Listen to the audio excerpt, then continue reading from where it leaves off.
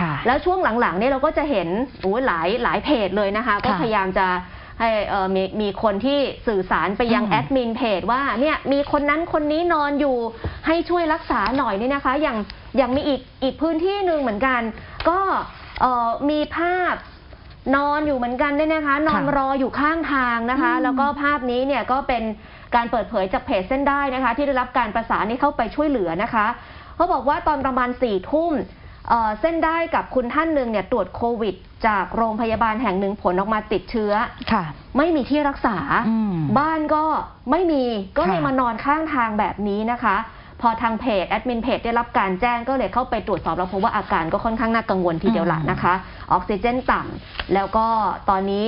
เอ่อนอนมา2ชั่วโมงแล้วนะคะค่ะยังหาโรงพยาบาลปลายทางรักษาไม่ได้ พยายามติดต่อหลายช่องทาง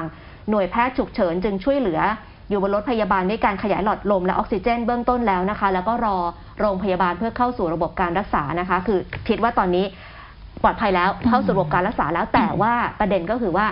นี่คือสิ่งที่เกิดขึ้นค่ะ ในเอ่อสังคมไทยของเราตอนค่ะนี้ภาพของการที่คนติดต่ออมโรงพยาบาลไม่ได้ บางทีทำทำอะไรก็ไม่ถูกเออจะทำยังไงดีทำอะไรก็ไม่ถูก โทรค่ะไปไหนก็ไม่รู้ ติดต่อโรงพยาบาลไม่ได้ โรงพยาบาล ไม่เข้ารับการรักษาค่ะมันมีนะไม่ใช่ไม่มีนะคะค่ะแล้วก็มันก็มีภาพปรากฏตรงนี้ออกมา แต่ทีนี้พอมันมีภาพปรากฏตรงนี้ออกมาปุ๊บเนี่ยนะคะ ทั้งเคสนี้แล้วก็เคสเมื่อสักครู่นะคะ